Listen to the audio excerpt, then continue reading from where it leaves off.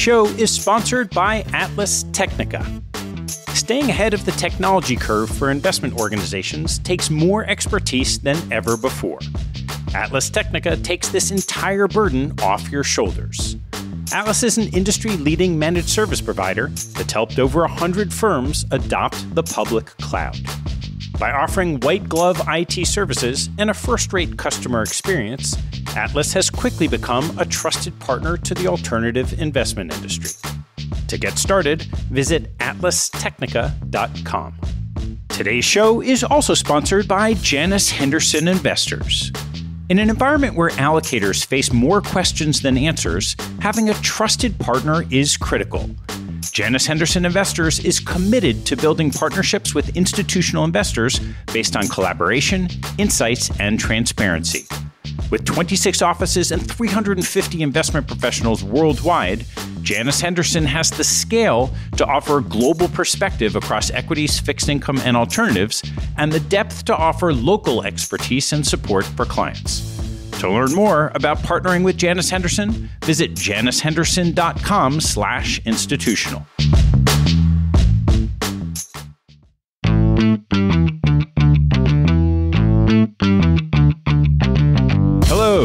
I'm Ted Seides, and this is Capital Allocators. This show is an open exploration of the people and process behind capital allocation through conversations with leaders in the money game, we learn how these holders of the keys to the kingdom allocate their time and their capital. You can join our mailing list and access premium content at capitalallocators.com. Marc Andreessen from A16Z famously proclaimed a decade ago that software is eating the world. His prophecy has proved prescient. Cloud computing enabled the rapid, cost effective deployment of software, startups flourished, and venture capital returns have been phenomenal. Venture capital is a fascinating investment area whose many days in the sun shine brightest this year. Institutional portfolios with large venture allocations soared to their best year in history. And yet, parts of venture are unique in being both efficient and unactionable. Many believe that Sequoia or Benchmark will produce returns at the top of the pack, but there's not much action anyone can take to participate. This miniseries explores the industry, focusing on some favorites of institutional investors who are still investable to those in the loop. Each has a great differentiated story to share and something to prove. That said, this field moves quickly, so as the disclaimer goes, past accessibility is not a guarantee of future capacity. My guest on the sixth episode of Venture is Eating the Investment World is Aydin Senkut, the founder and managing partner of Felicis Ventures, a $2 billion early stage venture firm that invests in founders building iconic companies that transcend geographic and industry boundaries. Its success has placed Aydin on the Forbes Midas list for the past eight years. Our conversation covers Aydin's early exposure to entrepreneurship and international business, experience as the first international product manager at Google, and transition into angel investing and founding Felicis. We discuss his investment philosophy, proactive sourcing, and doing whatever it takes to join the cap table and support founders. We close with Aydin's perspective on competition in the venture capital industry. Ventures Eating the Investment World is brought to you by Aumni Aumni helps private capital investors track and analyze individual deals while providing comprehensive financial and legal insights across their portfolio. It houses the largest database of investment transactions in the private markets extracted directly from executed agreements, including the legal terms, co investor details, liquidity preferences, valuations, and round sizes. With that information, investors can make faster investment decisions, benchmark deal terms, understand market trends, and enhance portfolio analytics. Aumni's clients include leading venture funds, corporate venture groups, family offices, and endowments, including a number of past guests on the show. You can learn more at aumni.fund. That's A U M N I dot fund. I hope you enjoy the show. And if you do, this week, if you're single and walking down the street while listening to Capital Allocators and look up and see a beautiful woman or man coming your way, What better way to get the conversation going than saying, Excuse me, but do you happen to know about capital allocators? They might respond, That sounds amazing, and start a really interesting conversation. Who knows? It could be the beginning of a beautiful relationship. Thanks so much for spreading the word. Please enjoy my conversation with Aydin Senkut in this, the sixth episode of Venture is Eating the Investment World. Aydin, great to see you. Great to see you, Ted. Thank you for having me. Why don't we start and go all the way back to your family and background and where this entrepreneurship bug first came into play? I am the son of two entrepreneurs, so I feel like maybe I had no choice but to become an entrepreneur. By lineage, both my mom and dad started companies, and I watched them do it. And I think it inspired me. It was really cool. And my dad, obviously, but more importantly, my mom, because growing up in Turkey in Istanbul, you know, you don't have a lot of women entrepreneurs that start things solo. And she was also one of the most respected executives when I was growing up in 70s and early 80s. The only women that did well had inheritance or were running family companies. Very rarely did you see people starting a career from scratch and being successful. So that was, I think, a great role model for me. What kind of businesses did they run?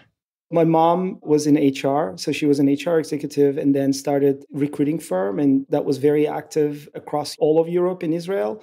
And then my dad did something in textiles, which, if you look at the industries at the time, banking and textiles were probably two of the most advanced industries. So he did something in textiles. So, were business stories part of your dinner table conversation? Absolutely. Absolutely. So, the most interesting thing now that I look back, I always make this joke. There were only two countries in the world that had 100% inflation I think 25 years in a row. One is Turkey, one is Brazil. As a result, if you look at all the finance and banking people, there are a lot of like Turks and Brazilians because we can do this math like from when we're eight years old. Like every night, my dad is like, Are we going to put our money in German marks or whatever?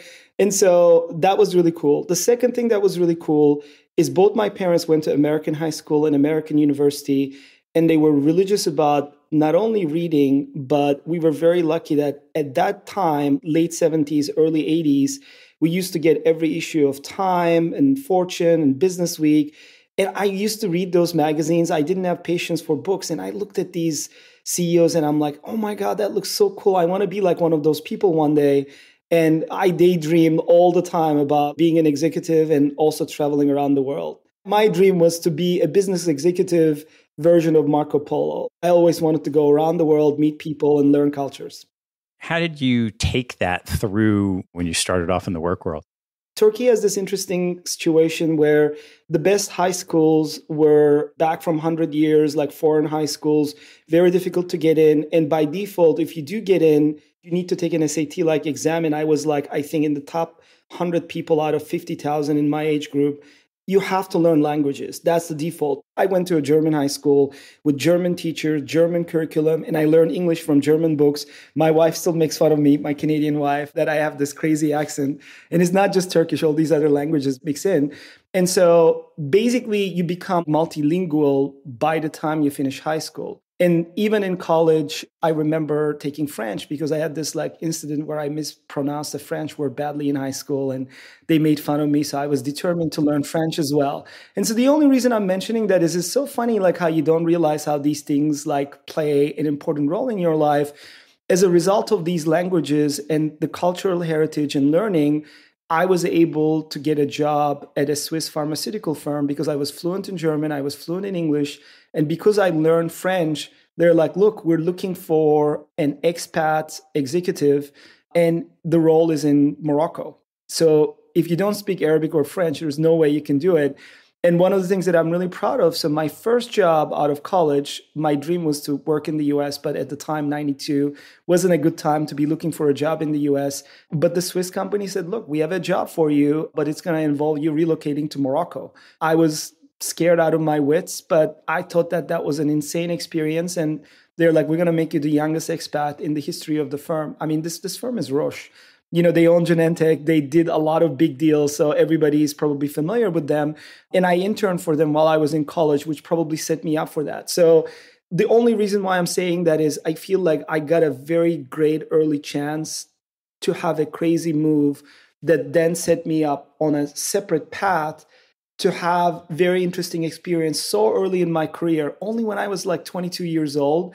And then I think it really helped me be one of the youngest students in the MBA program at Wharton. And then that helped me like with my first foray into Silicon Valley. Those early days had such a huge impact for me. Also, when you live in a place like Morocco, and look, I mean, this is in 92, right? There's like no internet, no computers, no iPhone. It's not an easy place to live. I don't speak Arabic, and my French was very elementary. Trying to survive on your own, you have no family, no friends. Uh, the environment was not very friendly, to say the least. But you go through an experience like that, and I think it just prepared me for a lot of things that came on and hardened me, I guess, as a professional. So you mentioned coming out of business school and you found your way to Google early on. Why don't you touch a little bit on that experience and particularly the things you learned? Absolutely. Well, that's another really crazy story because when I was in business school, the company that proactively wanted to interview me was Green Giant. And I took one trip to Minneapolis. I think it was like negative 25. And I'm like, God, I love you guys. I cannot be in this weather. I love people from Minneapolis. I'm just not made for this kind of weather. And I don't want to be managing frozen burgers. And then I realized Silicon Graphics was coming to campus. I somehow made my way to the interview list. And the only reason why I'm mentioning it is again, my career could have been totally different. I didn't get lucky, joins Google, and the rest is history. But I had three years at Silicon Graphics, which I think was an equally impressive company with amazing people. Just had no contingency plan, had a really great thing going and thought it's never going to change, and just got killed in record time by Windows. And I had to see a lot of close friends and a lot of great peers get laid off, even though they were very smart, they were very capable people. And most people don't realize this because, look, nobody in history, nobody like talks about the losers or the companies that get extinguished. But a lot of companies like Netscape, TiVo, like all this like digital recording recording, all these are SGI technologies. And it's so funny that then permeated to other companies like NVIDIA. So many of these companies have silicon graphics heritage. Um, and it was amazing because I work with very smart people. And the reason why I'm mentioning it I was in this software group where the engineering manager that I work with as a product manager ended up going to Google as employee number nine. And he was one of the smartest friends that I had. Like, I really respected him. If it wasn't for that, I'm not really sure Google would have gotten on my roadmap. And then as soon as that happened, I had a few other offers. But as soon as I had my first interview at Google, it was clear to me that it was an insane company. It was the biggest risk, and it was probably the smartest people I've ever met in my life. So all I could think was, whatever it takes, I want to be in this team. I want to work with these people because I'm going to learn a lot. And so, what did it take? This is going to be full circle.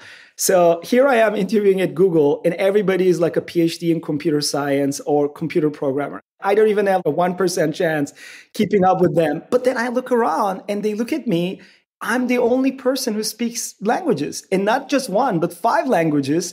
And at the time, Google is only available in English. I'm like, how can a guy from Istanbul ever have a chance to join Google? And it was that perfect time where they're like, we need Google to be in more languages other than English and everybody in the company was monolingual or weren't really language people. And then here I come in and how can I have an impact? And they're like, well, we need somebody to help us launch Google in first 11 non-English languages. And I respected them for being computer geniuses. And they look at me and like, he's the person who's master of languages. And so if I didn't have that experience growing up in Turkey, learning those languages and attempted to learn French in undergrad and live in Morocco, it's not just the stuff that you learn in school, being able to absorb culture and have an appreciation. And at that time, I also lived in Brazil, in Europe. So it wasn't just that I spoke languages, but I also lived in four continents. And I think that really, really helped me and put me in a unique position to be the first product manager at Google and to be the first PM launching Google in international languages. So, from your experience at Roche and then watching Silicon Graphics effectively collapse, what did you learn about running a business from those experiences that then, as the first product manager, you knew how to do? First of all, let me be very intellectually honest with you. I don't think anything that I learned or could have learned aggregately could not even like prepare me for what I encountered at Google. I think it was probably the, the most formative experience because we never did anything as it was thought or it was done heretofore. Like Larry was very much an original, he was a crazy thinker. He had a very simple philosophy, which was I'm gonna ask you to do insane things, and they are insane by default because if they're not insane, you're going to basically revert to status quo and you're going to come up with incremental ideas. And the only way to not revert to status quo and not come up with something incremental is that I'm going to ask you something so insane that you're going to have to come up with something brand new and insane to do it. And if you don't try, you can't do it. So you have no choice but to do it. I'd like to say, oh my God, my MBA prepared me so well and all of that. In all honesty, none of my professional roles, nothing I've ever lived in my life prepared me for what was to come. And for good thing, right? I mean, I just kind of learned to never say it can't be done or it's impossible. Because every time we said, oh, there's no way, we somehow figured out a way to do it or at least get close. So his favorite saying was, if I ask you to go to the moon, you might end up in Alaska. But if I ask you to go to a different planet in the galaxy, you're going to go to Mars. If you don't shoot far enough, you just don't know how far you can go. And a lot of our limits are mental, self made, and we just don't realize that.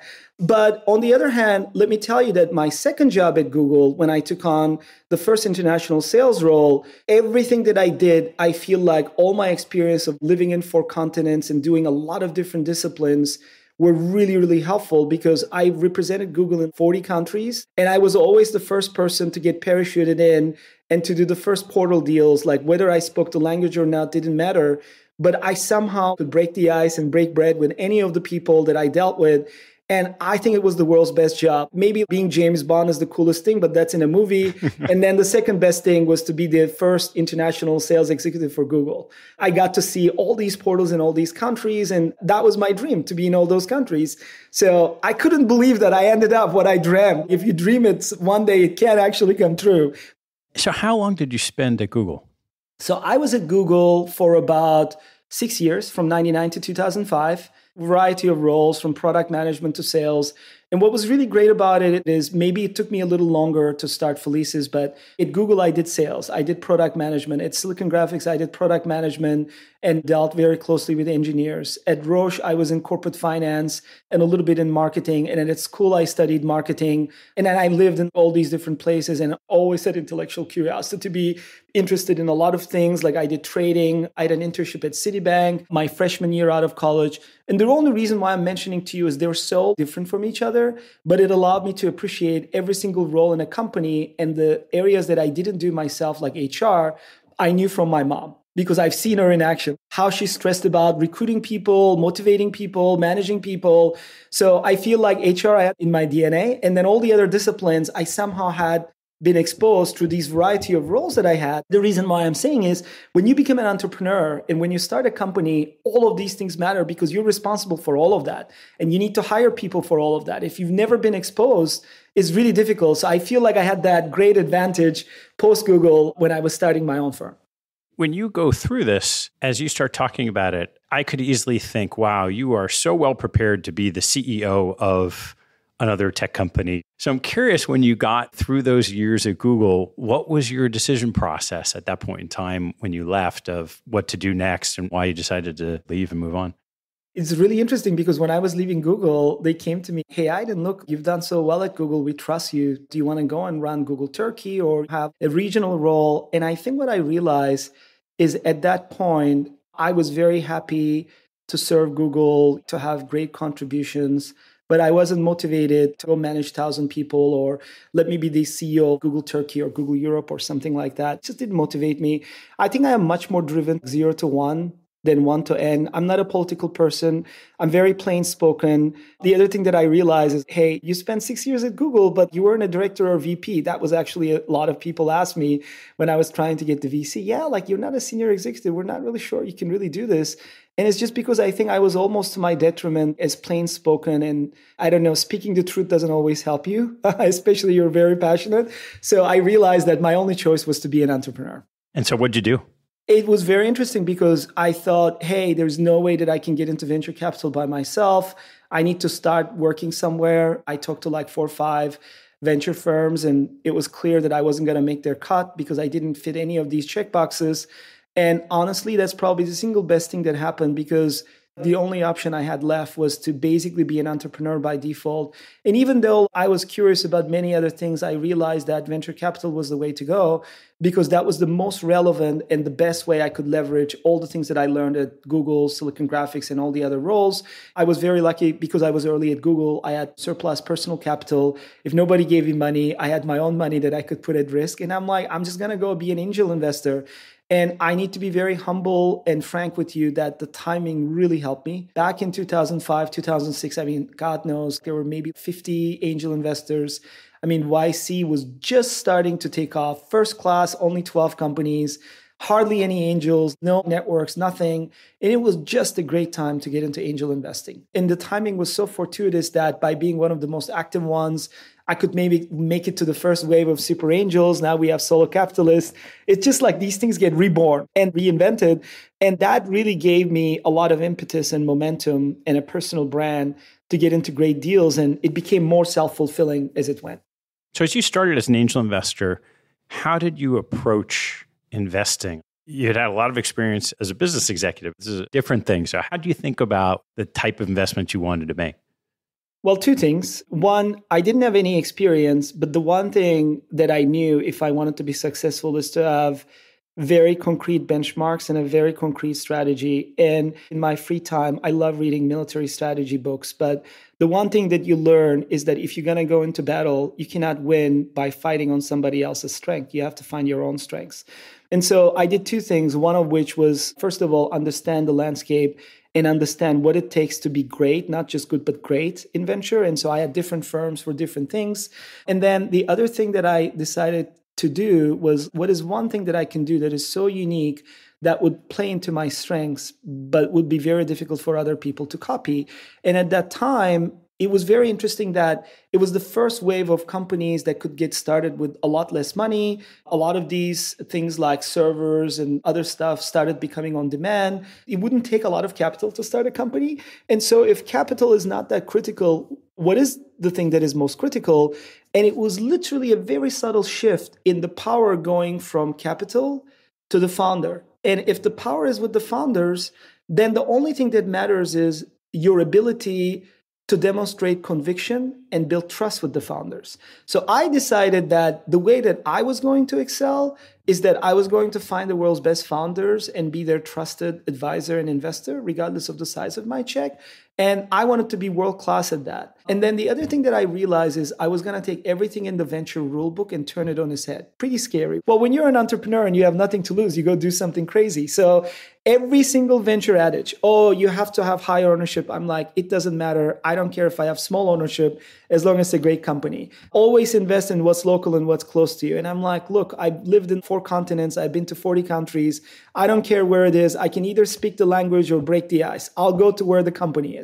Very rare and unconventional at the time. And then it was also invest in what you know. And I'm like, I've done so many different things. I have so much intellectual curiosity that I'm going to pick it up. I don't need to be a VP in Genentech to invest in biotech. I know enough to know what matters and what's not. And so all of these things were very unusual at the time.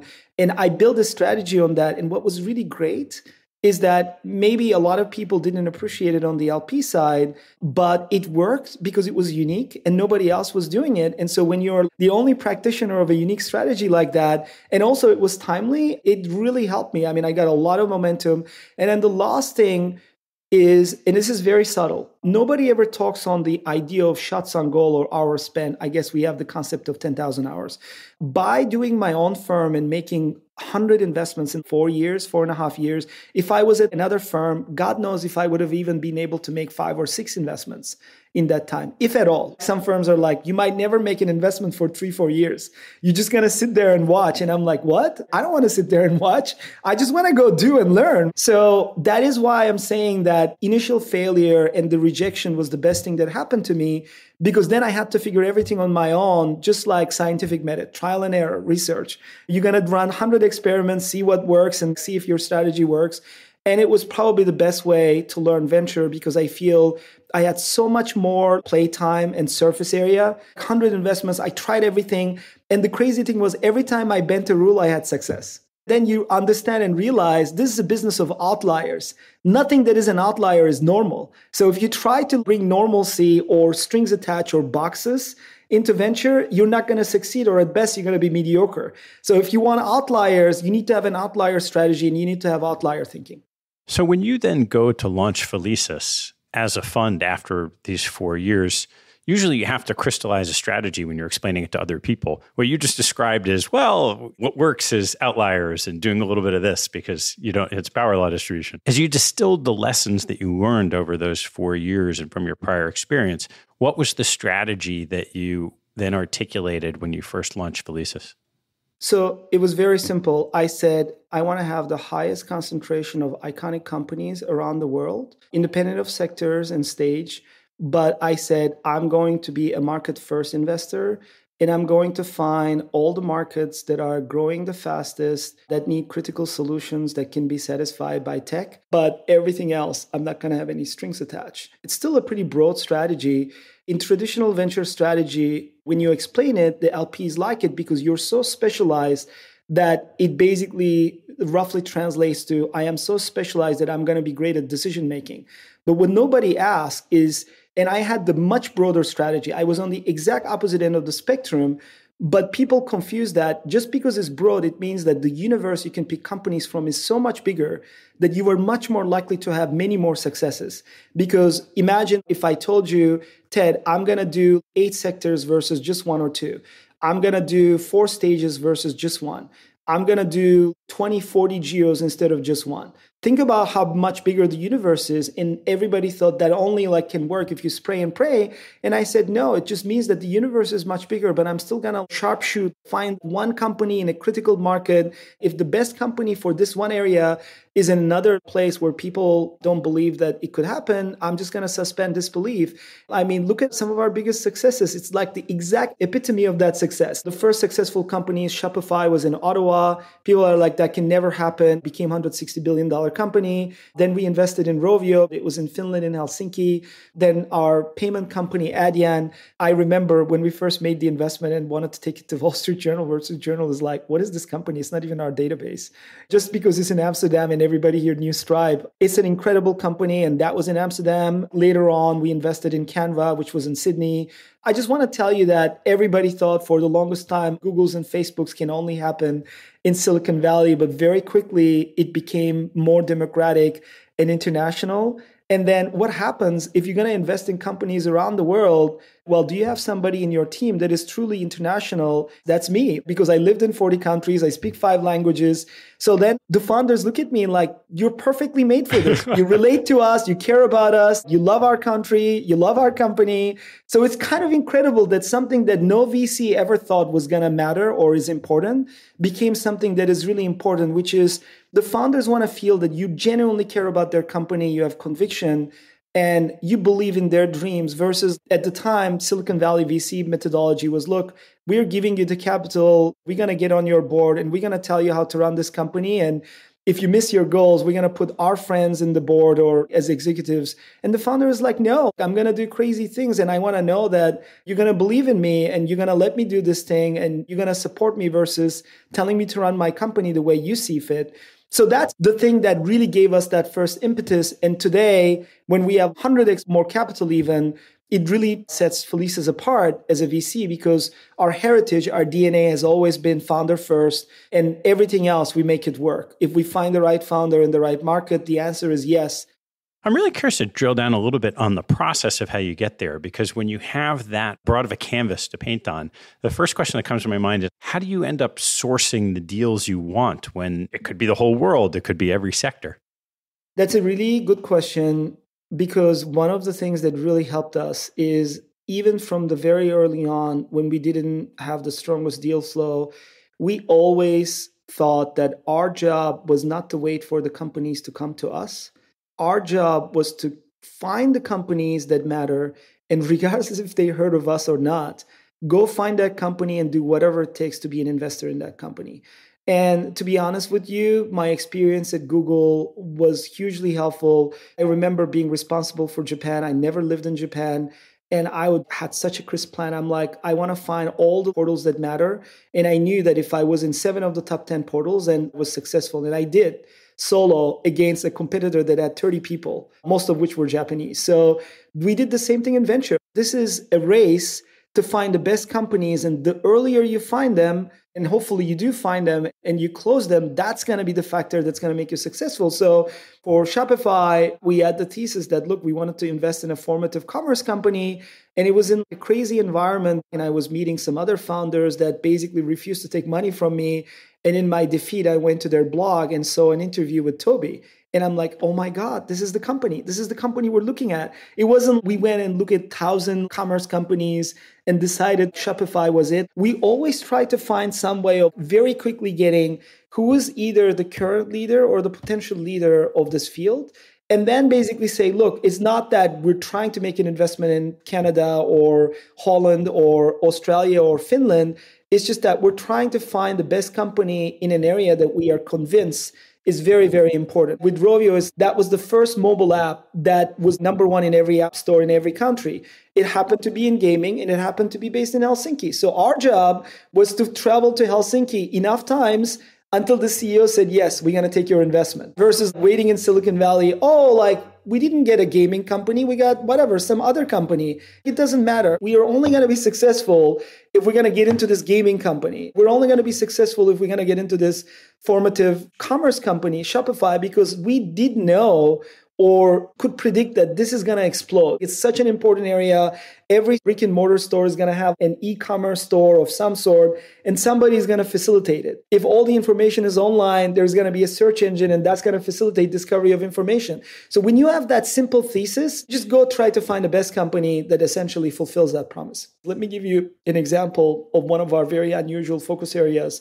a few years back, which was mental health. I'm not a mental health expert. I don't have any psychologists in the family. I've never had psychology training or psychiatrist training. It was a very simple thesis. One day it dawned on me that so many of my family and friends had different mental things that were going on with them. And I'm like, wow, every year I go to doctor for a physical checkup, but there is never really a mental checkup. Nobody knows what's wrong with you. They can't even diagnose it. There is no test. For physical stuff, you can do a blood pressure, you can do blood check, you can do gene test we can pretty much identify anything that is going on with you physically, but we cannot do anything that is happening with you mentally. Health is the largest spend of GDP, the largest budget, the largest cost in the US, probably for the rest of the world. And the only area of health that is still in Stone Age is mental. I guarantee you that there's going to be multiple huge companies getting created addressing mental health. So we went all in in mental health. Or a couple years back, we realized in the new world, there are new areas of technology that are never going to go out of fashion. That's infrastructure, security, and DevOps. Because when I went to grad school and we studied economics, what does it take to start a company? People, raw materials, warehouse, office, capital. And today, what does it take to start a company? Oh, AWS, a little bit of capital, and maybe a few people. So this is like an age where data is the new oil. Like there's nothing physical. In this new age, what matters the most is data and infrastructure and DevOps and security because if all your biggest assets are not physical, they're IP, they're software, then security is so critical because if I want to steal something that is really precious, I'm not going to go steal a car or office, whatever. I'm going to go try to steal IP. So that's what's happening between nation states. And it's also crazy because it is much harder to detect. So security is never going to go out of fashion. So we made a hard pivot into these areas. It's not like I'm a security expert. I'm definitely not a DevOps expert. I'm definitely not a cloud or infra expert. So even though I don't have any of these qualities, I am absolutely convinced that these are going to be monster areas in which incredible companies get created and you're already seeing it we have to find the best companies we came from scratch and we i think now have a dozen companies in these areas even though we don't have a single resident expert how do you distill the passion and the vision that comes from looking for those opportunities to your team? I try to lead by example. I mean, it's very much like uh, apprentice model. It's not like I have a magic bullet. I think Shopify it took me eight emails until Tobi said yes. Then he asked me to fly to Ottawa. Adyen took me two years to break through. Rovio took me a year and a half, and I had to meet them in the US and London in Helsinki. So it's not like I figured out this industry is the right industry and I found the company, but I had to be relentless, getting smashed into a wall and hearing a no and no smile, like something skeptical on the other end. I think until I broke through the ice. That's the funny thing. And I go back, and the reason why I can do this is because of my experience in living in these crazy countries or dealing with these people where I'm like, how the hell am I going to convince them to buy what I'm selling? And that's the pivotal experience that keeps me going. And they see that. And also, if you are not showing emotion and if you're not showing that you care, then I don't think people want to work with you. So many people think that just because they have the degree, they have the title, they have the idea that the deal and the win is going to fall into their lap. And the founders, they are putting their life into this. They don't want to think that this is just like a little check mark or a little transaction in your Excel spreadsheet. What they want to see is that you care, that you're going to make an effort, suspend disbelief, and you're going to do whatever it takes to help them. We always talk about it. Who's your best friend? What is something that you appreciate about your significant other is because they support us. They're there in our worst days. And I think that's the important thing for that to come true with the founders. There is that moment where they truly believe that you are that trusted partner. That is the magical moment I think we win. And it's just very special. So once you're in a deal with one of your founders, what do you try to do with your team to help create value at the business? The most important thing that we do, honestly, is to always ask the founders what is the one thing that matters the most to them and what is the most critical. There are some things that we do that is across the board that involves recruiting or strategic help with next round or exits, planning, introducing them to customers there is every now and then something that is very unique and special. I remember this was especially the case with Rovio and Shopify. Rovio was just about to launch their physical goods. They have these really cool goods, the Angry Birds, the plush toys. And they realized that a couple weeks before Christmas that they had no experience building an online store and the time was running out. And that was right after we closed Shopify. So I went to Shopify and look, you have a lot of customers, but Rovio could be one of the biggest ones and they put one of their best engineers. Just by connecting the two companies, both of them got something amazing out of it. I remember when we were talking to Adyen, they didn't have any notable customers in the US, but one of our biggest advisor was from Facebook, and Facebook was their first major client they were trying to close. And we got some unique insight that I think really helped them in that journey. And I remember even after Shopify went public, one executive, one day I get a text from Harley's like, look, we just need to get a hold of this executive. Please do whatever you can. And in a couple days, make the intro. I'm like, oh my God, there's no way. And then it turns out that we did find somebody in our team that could get through to that person and we did connect them. So the reason why I'm mentioning this is that there is no secret formula or 200 people in the back end that just wait to do a job. It's our willingness and that no job is too small. Whatever the founder needs, we will just go find a way to make it happen. And they really appreciate it because the thing is, that moment where it's most critical and timely, that's when they really need the help. And when you can do it, nothing builds trust more than that. How do you think about the number of companies that you want to work with when you're really trying to make this effort for all of the founders that you invest with?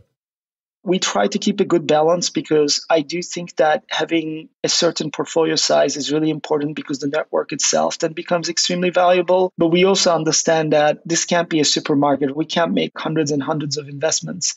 So it's a fine balance. I think one of the things that helps here is that we have a unique strategy with our team that we try to make decisions together unanimously. And that doesn't mean that we can't have different opinions and different levels and we can still have skeptics. But one of the reasons that happens by design is that the only way we can handle it is it's a little bit like a customer support team that we don't know each one of us how many demands or asks we're going to get. But if we're all working as a team, there might be one ask where at that moment, five of us are trying to help this one company. And then there are other times when each one of us can handle three companies by having that overall support of everyone that, hey, it's all about the pie, it's all about the family, it's all about our founders. Even if the founder relationship manager is not one of us directly, if there is an ask, we're all going to roll up the you know sleeves and figure out.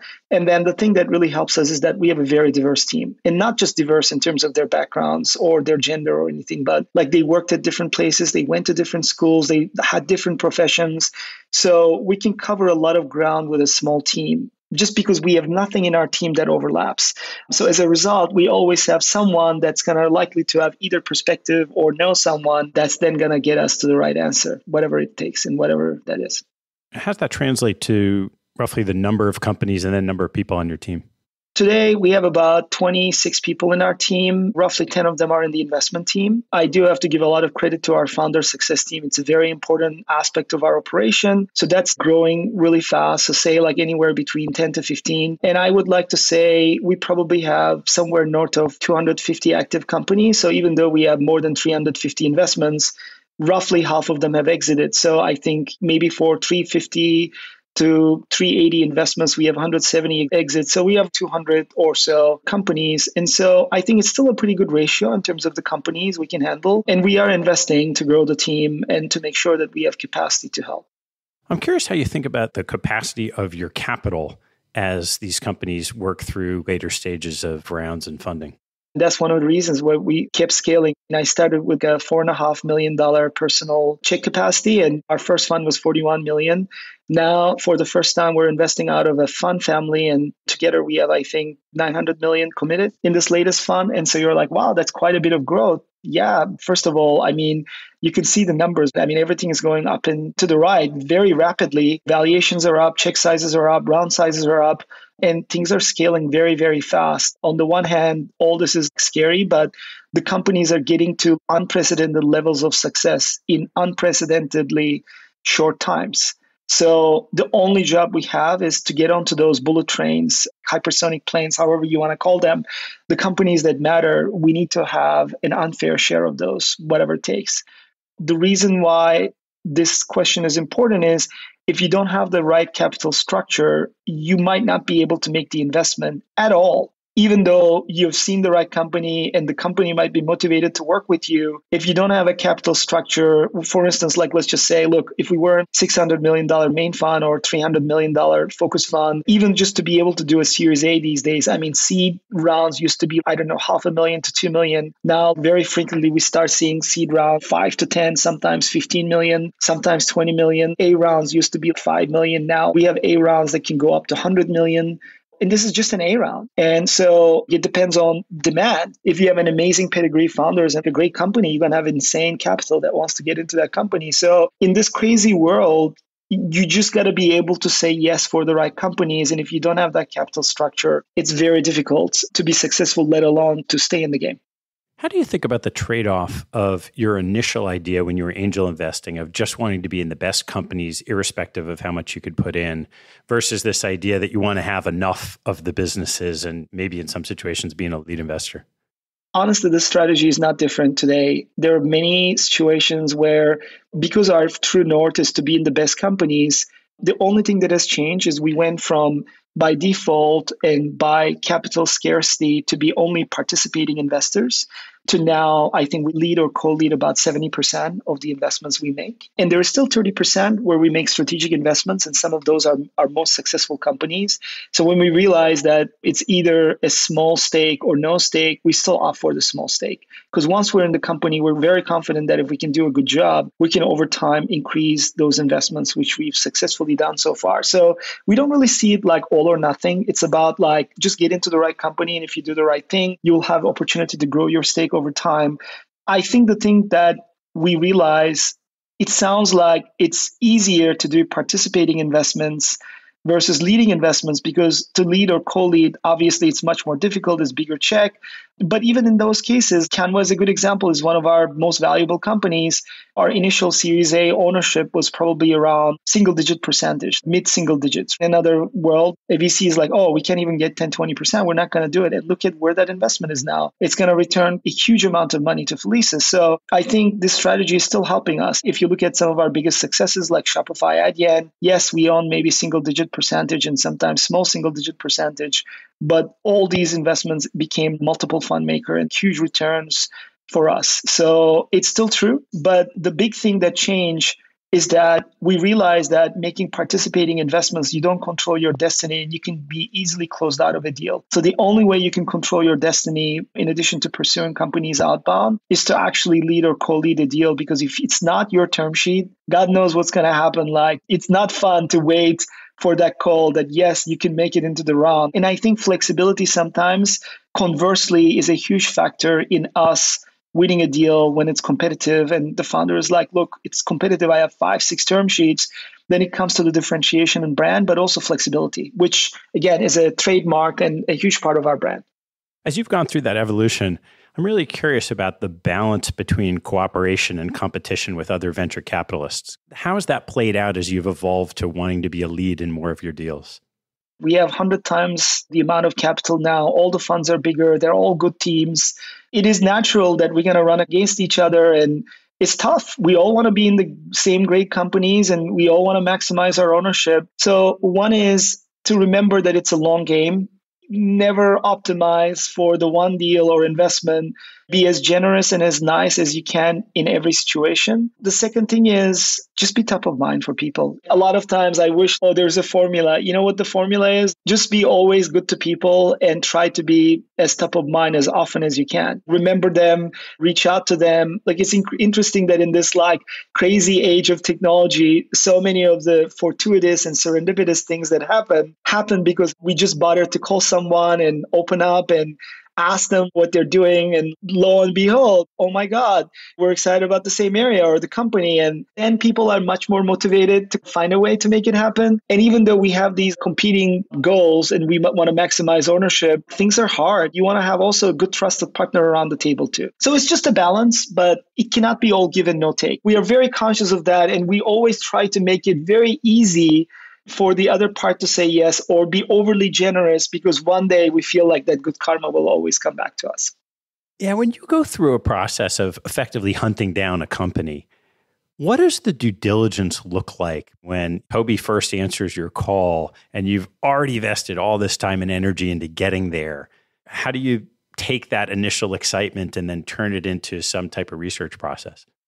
You just got to be a great listener. And I'm just looking for unique insight. There were a couple things that happened when I showed up. The first one is something very unusual where Tobi said, Look, we're doing something a little bit crazy. We only have 20 engineers, and the whole company was, I don't know, 50 people, something like that. Maybe they had 25 engineers. And he said, I'm taking my best engineers off of product development, but they're going to build this real time database for me. So then I have this real time visibility into everything that's going on. And somebody else would have looked at that and, great, I'm absolutely walking out of here. The CEO is crazy.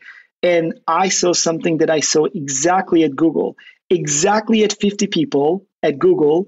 Larry said, you know what? We need to move even faster. And if we only put engineers on projects as they become relevant, it's not fast enough and we're going to fall behind. So, for the first time in the history of Google, he took three people. He's like, from now on, your Google research, you're not beholden to anyone. Go work on crazy things that we're probably going to need couple years from now, but when we need it, you will have already worked on it. It was such a subtle thing, but unless I had that experience from Google, I don't think anybody would have appreciated. Everybody else was like pouring through the numbers and trying to calculate ratios.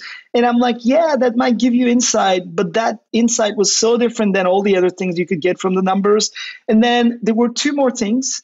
Number one, they were drastically underpricing the product, and it might have scared someone the message that it sent me is that it's like Amazon. No customer ever said, I want to buy a product for a higher price. Everybody's like, I want to buy it for the lowest price possible. And then the last thing is, you're always looking for an unfair distribution advantage.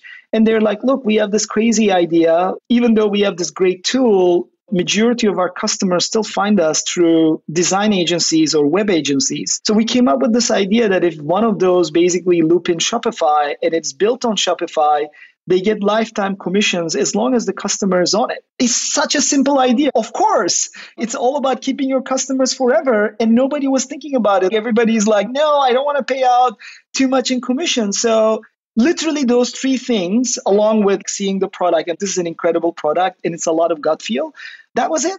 And it's always something that you don't hear from somebody else. And the moment you hear it it automatically makes sense. Like of course. But until you hear it it's not obvious because if it was obvious everybody else would be doing it. And it is uncomfortable but you hear it and you're like yep i get it. It's very unique and nobody else is doing it. So this is the company. I'm going to back.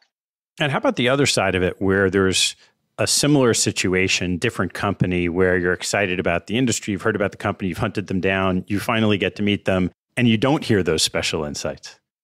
Yes, I don't want to preempt, but one of my investment pet peeves is every founder is constantly talking about success and everybody's asking, how can I be successful? Everybody wants to figure it out. And it is surprising to me that nobody's ever talking about how to measure success. So if you don't know how to measure success, how the hell are you going to get there? For my German training, the one thing that I learned is if you have a plan, things might change and things might not go according to plan. But if you don't have a plan, there's no way you're getting to your destination. And part of an important part of the plan is if you have a goal, you need to have a map. And if you have to get to success, you need to figure out how to measure it, at least initially. And it can't be, we got an article on TechCrunch or whatever, Wall Street Journal. If it's all about user engagement, it's like the level of engagement. It's about having happy customers. What is your NPS score of the customers? If it's SaaS, are the customers willing to stay with you? You have about 100% revenue retention. And are you growing? How many customers do you have? And then even for growth, it's table stakes to say you're going to grow X next year. The top companies are like, hey, not only do we have that growth goal, but we have five to one pipeline coverage. Even if you get to 20% of your pipeline, you're going to hit that growth number. I know that you're going to hit that number because that coverage means that there is no way that you're not going to hit that number versus other people are like, yeah, we're going to grow 50x. And you look, there's nothing that's supporting it. And they don't even know how to measure it. And I'm like, I'm done. There's no belief to suspend here because there's nothing that I can hold on to here. How do you think about your reputation for being so founder supportive and founder first in those situations where you got so gunged up for the opportunity, but then when you saw it and actually got in there, you wanted to walk away?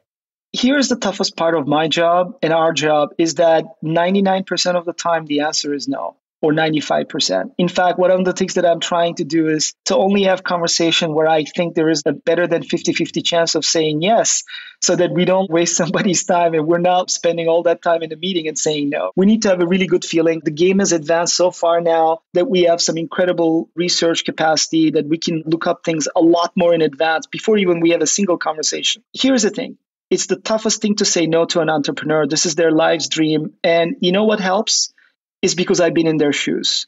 The first time I was fundraising, there were 50 LPs that said no to me. No, like, no way. This is not going to work. Here's some other LP. Go talk to them. And that, that person is like, no, like, absolutely not. We want to give you a single cent. Go talk to these other people. Maybe they'll give you money. The thing that really matters is to be upfront and transparent. Look, I care about your success. Here's why we can't say no. Give them something good, something help. Here's what I saw. I'm not going to give you a bullshit answer. If I were you, I would think about this or I would pay attention to this. I'm really sorry that we can't invest. We are rooting for you, but try to pay attention to this or at least think about it. So when they see that, it's no with like, I care about you and I'm trying to be helpful to you. And is there anything else I can do for you? And they know it's our business. We can't say yes to everyone. I know that it doesn't sound like much, but for a lot of founders, seeing that emotion also on the no side and not just on the yes side, that you care and you're trying to help, that's all you can do. I'm curious how you and your team split your time between going and looking for new deals and the time you're spending with your portfolio companies?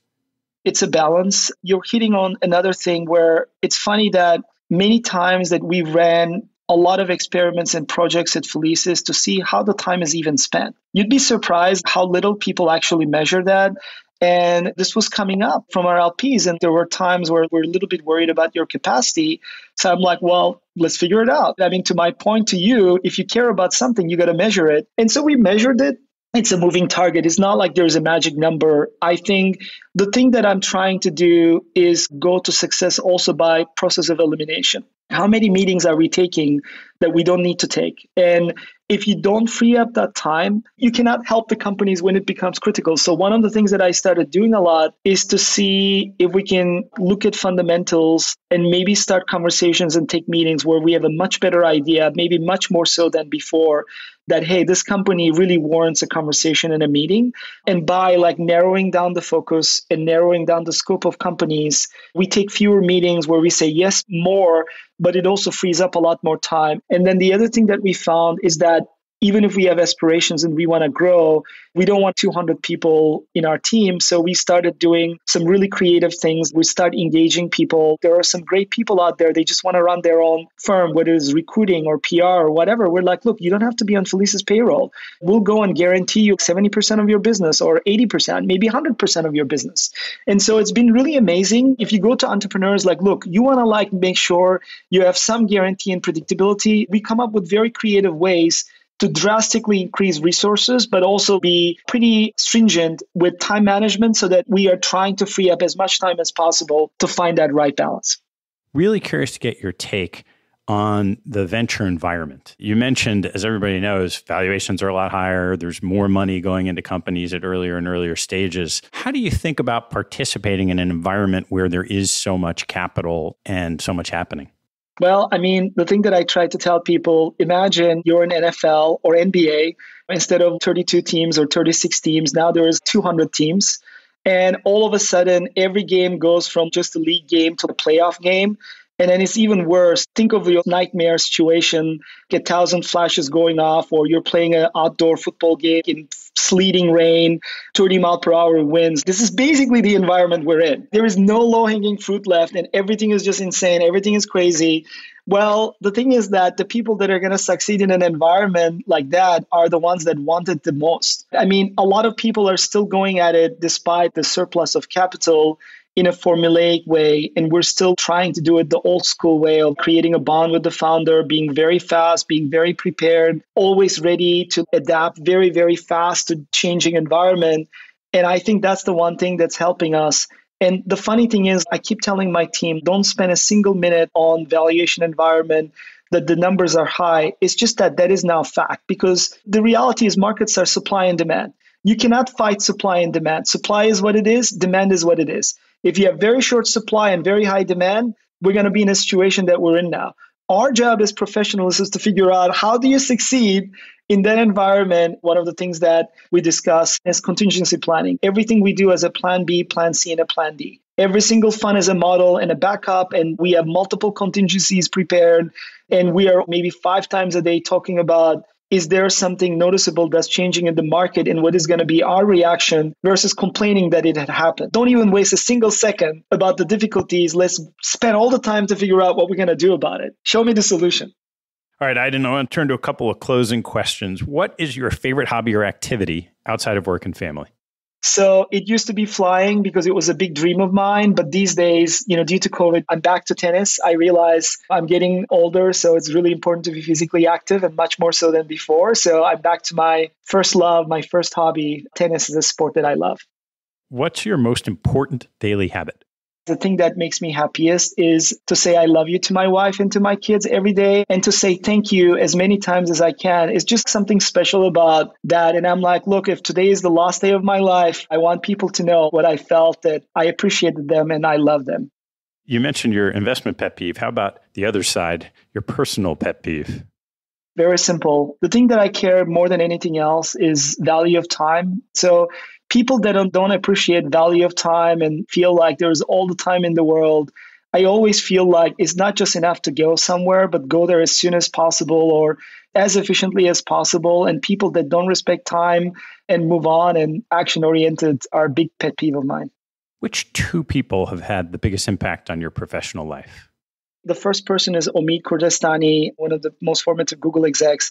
He gave me my first Google offer. And if it wasn't for him to give me a chance, and take a chance on me, I don't think I would have been here. The second one, even though I only worked with him for a year, I'm going to say Larry Page, just for the sheer fact that if you ask my wife, my team, or my founders, probably the person that I quote the most is Larry. I always like to say, hey, you know, when I was working with Larry or when I was at Google, this is the thing that I learned. And he is the person that I learned the most from, even though some of those were very hard learned lessons, is that I learned a lot from him. What's the biggest mistake you've made and what did you learn from it? If I basically had a thousand shots on having my life again, I would do the exact same things that I did today, including the mistakes. I wouldn't change a single thing. But in terms of a meta thing, I wasn't as action oriented before, and maybe I was a little bit more shy. If it's not 100%, whether it's 98 or 65, doesn't matter. And the only thing that really truly separates you from everybody else in life is to be in the 100% camp, to be consistent. I think that subtlety is lost most often. So my mistake, maybe earlier on, or in general, is to be not consistent. And honestly, maybe sometimes I take things too personal and maybe for personal happiness and to be able to subsist in these difficult times as we languish, as Adam Grant says, don't take things as personal and try to think of the happy things. So we started with your parents, and let me ask what teaching from your parents has most stayed with you? It's interesting. So each parent taught me one thing. what I learned from my dad, he grew up without his dad, with a single mom. And so his biggest thing was don't ever be dependent on anybody else. Don't ever be in a position where you have to beg or plead for help. By all means, do everything you can to be independent and self sufficient. And my mom hustled. She always used to tell me, I did all these things where if you look at my IQ or my exams, whatever, you would have never expected. But every time. She was always the person that hustled the most that tried the best never gave up. So that grit and resilience that you're hearing i think through dna and through role model and osmosis that came from my mom. All right Aydin last one. What life lesson have you learned that you wish you knew a lot earlier in life? I think i just started touching on it. We talked about consistency but the other big thing is just to not take things personal. I'm Mediterranean by birth and it's hard. We're emotional, a little bit larger than life. One of my F1 drivers, his nickname is Iceman. And I'm the exact opposite of that. And sometimes I wish there is a little switch that I can turn on and I can be Iceman. Just don't take it personal. Don't care about it. I remember I read this article about Robert Reich one day, who was Secretary of Treasury, and he said, Look, for every decision that I have to make, my first question is, How much time do I have? I think we rush a lot of things. And this is part of being an Iceman is that instead of reacting in the moment, getting emotional, taking it personal, just realize there might be more time to take this step. It's good to sleep on it or take a little bit more time to see if you feel a little bit differently even a couple hours later. It's incredible how our mindset changes even if we give ourselves the opportunity of a little bit of time. It's probably one of the biggest things that I learned and I wish I knew that much younger. That's fantastic. And thanks so much for taking the time. Thank you, Ted. Really appreciate the chance and opportunity to join you. Thanks for listening to the show. If you like what you heard, hop on our website at capitalallocators.com where you can access past shows, join our mailing list, and sign up for premium content. Have a good one, and see you next time. An important disclaimer from Janus Henderson Group PLC. Investing involves risk, including the possible loss of principal and fluctuation of value.